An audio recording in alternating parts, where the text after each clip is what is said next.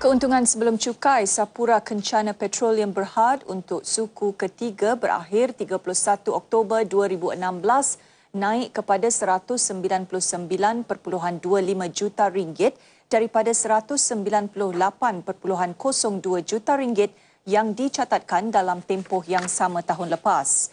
Pendapatan bagaimanapun menurun kepada 2.22 bilion ringgit daripada 2.89 bilion ringgit sebelum ini.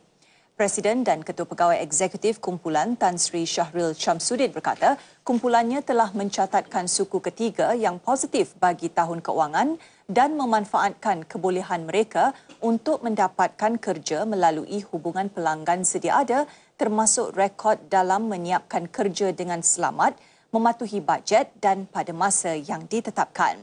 Tambah beliau, untuk suku tahun ini, kumpulan tersebut telah memperolehi kontrak-kontrak baru bernilai 1.2 bilion ringgit merentasi semua bahagian perkhidmatan menjadikan jumlah keseluruhan sebanyak 4.2 bilion ringgit bagi tahun keuangan semasa.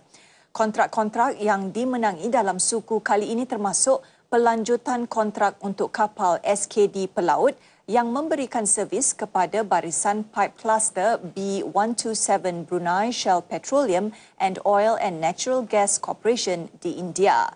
Selain kumpulan itu mempunyai tempahan dalam tangan sebanyak 17.2 bilion ringgit dan tunai semasa serta baki bank berjumlah 2.8 bilion ringgit serta mereka akan meneruskan usaha syarikat untuk terus mempertingkatkan daya saing dalam pasaran dan kekal komited untuk inisiatif ke arah meningkatkan produktiviti dan kecekapan.